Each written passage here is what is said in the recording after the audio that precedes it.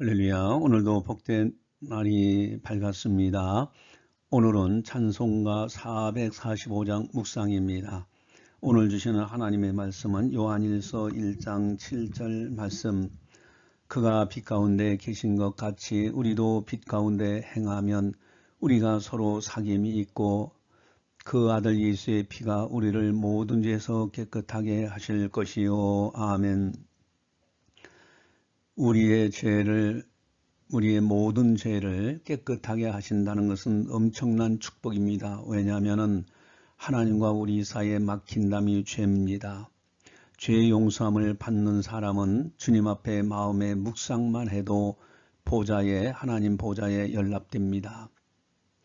오늘 찬송가에 보면 태산을 넘어 험곡에 가도 하나님께서 우리를 지켜주시는데 험곡에 가지 않도록 막아주시기도 하시고 비록 간다 할지라도 동행하시면서 능히 이길 수 있도록 도와주시는 것입니다.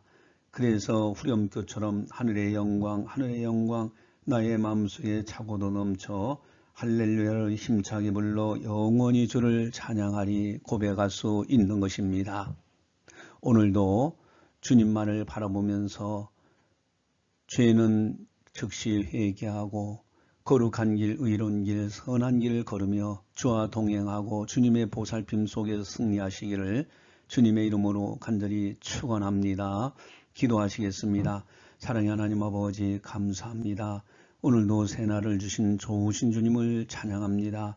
하루하루 주님과 함께 동행하며 하루하루를 맞이하며 하루하루를 승리할 수 있도록 인도해 주심을 감사를 드립니다. 세상이 흉용하고 다사다난할지라도 우리 주님 우리와 동행하시고 지켜주시기에 담대하게 우리들이 세상을 이겨나갈 수 있는 줄 믿습니다. 오늘도 하늘의 영광 하늘의 영광 나의 마음속에 차고도 넘쳐 할렐루야를 힘차게 불러 영원히 주를 찬양하리 고백하며 주님만을 따라가는 아름다운 성도들 다 되게 하여 어, 주시옵소서 감사하고 예수님의 이름으로 기도드리옵나이다.